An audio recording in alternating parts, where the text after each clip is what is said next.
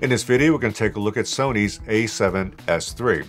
Now, this camera, of course, has been all over the internet and on YouTube, and uh, I'm really curious, you know, when it comes to video, again, I don't get into any of the uh, still photo capabilities, but when it comes to video, I am really curious how well does this camera work, and how well or how easy will it be to integrate into my workflow for production work. So let's just jump right in and get to a couple of tests.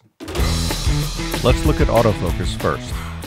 Now, once the camera actually locks onto my face, it does a pretty good job of uh, tracking with me. You know, it has the uh, tracking, eye detection, and um, it's pretty pretty sticky. You know, we're at 50 millimeters f2, uh, autofocus speed of 5, sensitivity of 5, and as you can see, uh, it stayed with me on that walk up. Now, um, when I go off, it doesn't drop me right away, picks me up again. Uh, a little bit of hunting there, but then again, it just, uh, it, you know, stays with me all the way up to uh, close focus.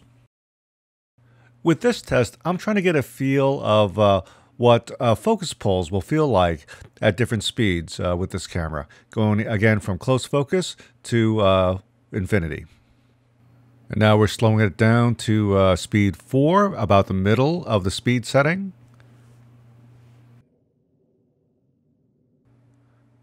And now we're slowing it down all the way to the number one, uh, the slowest autofocus speed setting. And uh, here you can actually kind of tell how how the Sony um, added, added has ramps uh, as it comes to uh, its final position.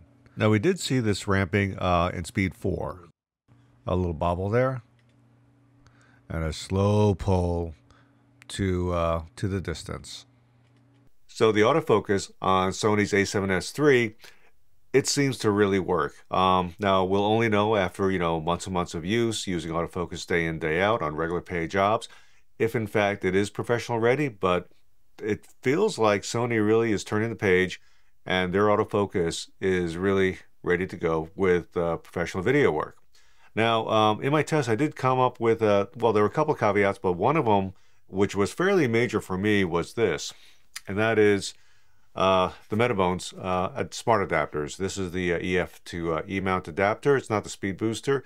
It is the Mark IV. Now, I did upgrade to the latest firmware, which I think was build 67.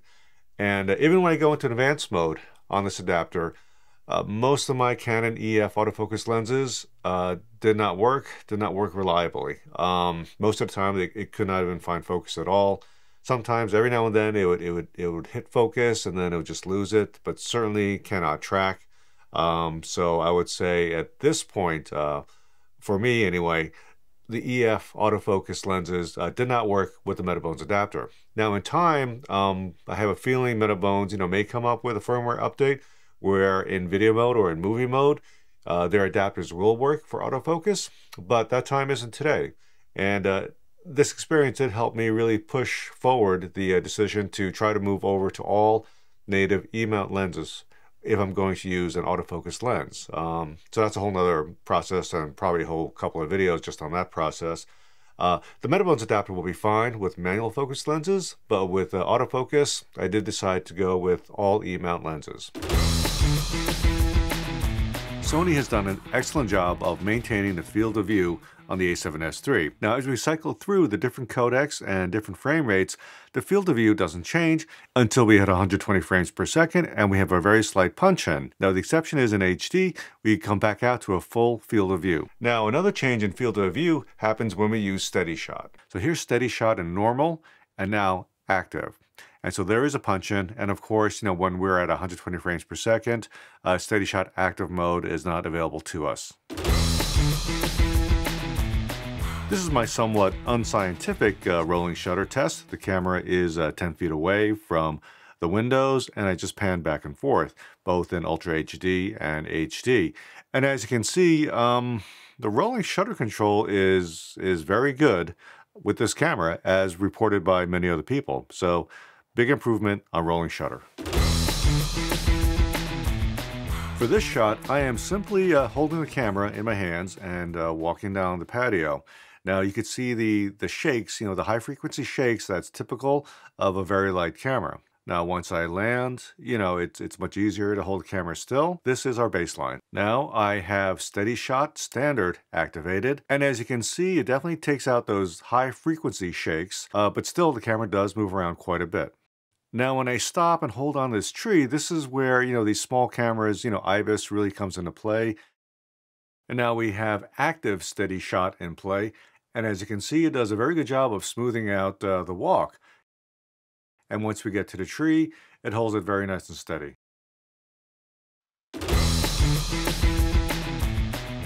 I'm set up to record sound, and this is the setup that I would typically use to record sound, especially on something like an interview. We have up here our uh, hypercardioid microphone going to a recorder, a mixer recorder, in this case, a Sound Devices MixPre 6 2.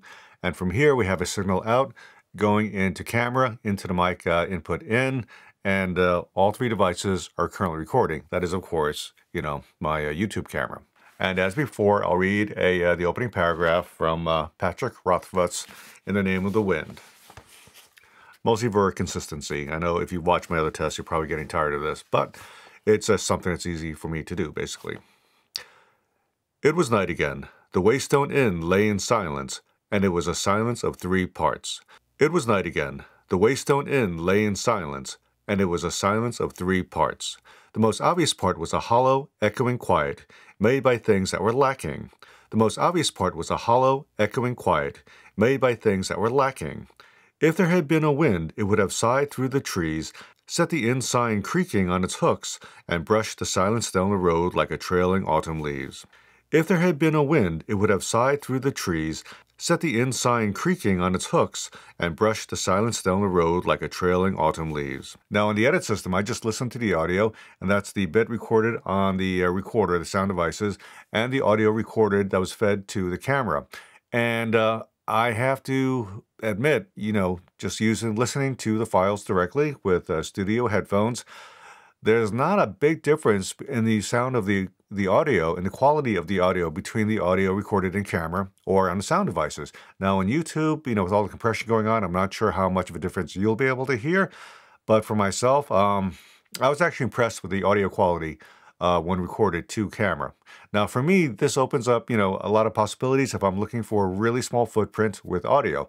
For example, Sony has this accessory, you know, when mated with their digital wireless receiver, take away the batteries and you take away the cables. It just it plugs right into the camera and, you know, the camera powers the unit and no wires are involved. I mean, that's great. Look how small it is. And again, no wires, no hassles. Um, this is really interesting. Now, of course, they have this other audio adapter, uh, much larger, um, but again, it does have a couple of XLR inputs. That's another possibility. But again, this is a much larger, bulkier solution. It does give the potential. I think the audio recorded in camera directly does give the potential of a very, very small footprint, um, and that's great. It's just another option. So that's my basic audio test with the A7S III. Um, definitely have options with audio because it is excellent in camera, at least the way that I would use it. And that's going to take us to uh, the next point, and that is if I am going to use that self-powered uh, adapter on top, uh, it's battery life. So let's take a look at battery life now. And now for my uh, super creative shot, filming a clock. As you can see from the subtitle that we went uh, 102 minutes, uh, with a brand new battery at full charge before the camera shut off. And I'm also happy to say that the camera did close out the file before it shut down.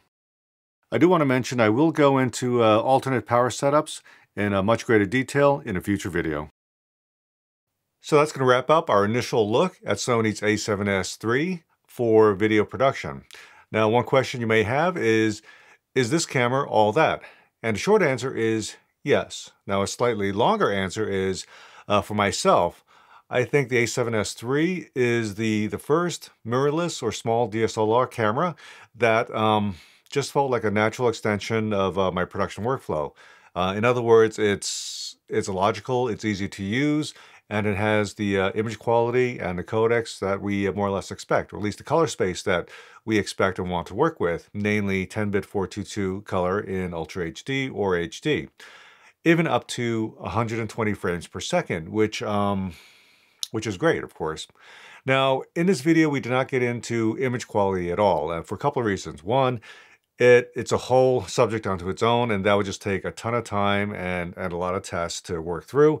Uh, for another reason I didn't get into it is that basically all the modern cameras now, whether it's a mirrorless camera, cinema camera, you know, in terms of image quality, they're all great. You have to understand that. Like, basically all the cameras that they sell now, APS-C and larger, or Super 35 and larger sensor size, um, and even uh, Micro Four Thirds, I think they're great. It's not about the camera not giving you a great image anymore.